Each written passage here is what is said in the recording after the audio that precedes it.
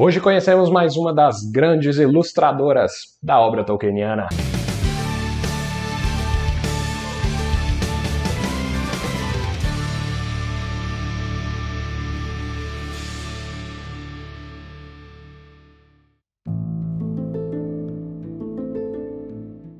Olá, Tolkien Talkers, sejam muito bem-vindos a este vídeo sobre a grande ilustradora Helena Kukhanova. Antes de começarmos, já sabem, deixe aqui embaixo o seu like, se inscreva, ative notificações e deixe um comentário. Hoje um é ou um K. E compartilhe com todos os amigos para não perder nenhum novo vídeo. Vamos então viajar para o outro lado do mundo. Helena Kukhanova é uma ilustradora clássica profissional nascida em Moscou em 1979.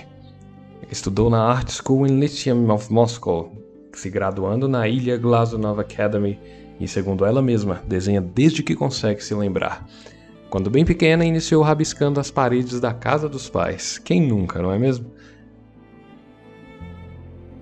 Seu primeiro contato com a obra tolkieniana foi por volta dos 16 anos. Ela declara que a obra teve um impacto notável em sua personalidade.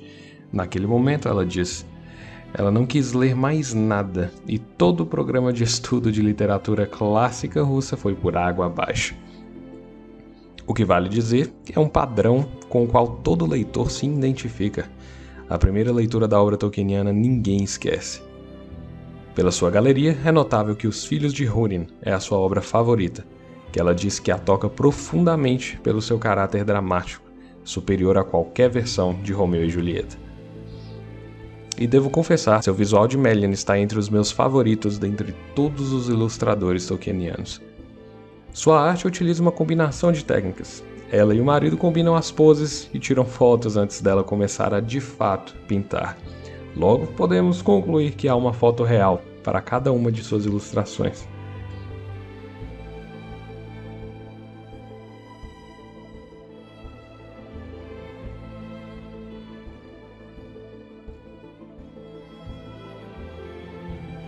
Sua combinação de aquarelas, acrílicas e óleo é inspirada em Somov Benois e apesar de ter desenvolvido alergia à tinta óleo, isso não a impediu de seguir sua vocação. Sua mistura de guache, aquarelas e lápis é de um traço instantaneamente reconhecível.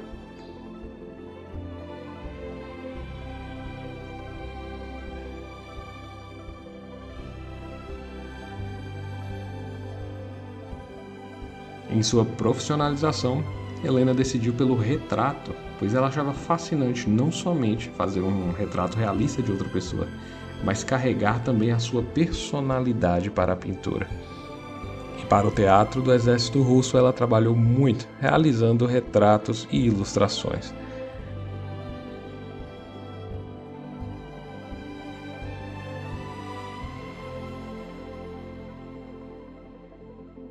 Apesar de extremamente famosa no meio tolkieniano, Helena é bastante discreta e mesmo montar esse vídeo exigiu bastante tempo de pesquisa.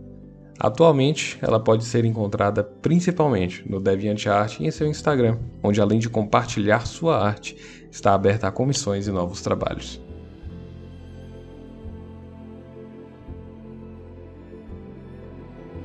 Considerando o quão marcante é sua arte no meio tolkieniano, não será muito tempo até ela mesma estar no panteão do calendário Tolkien, tendo entre todos nós alguma arte entre as suas favoritas da obra.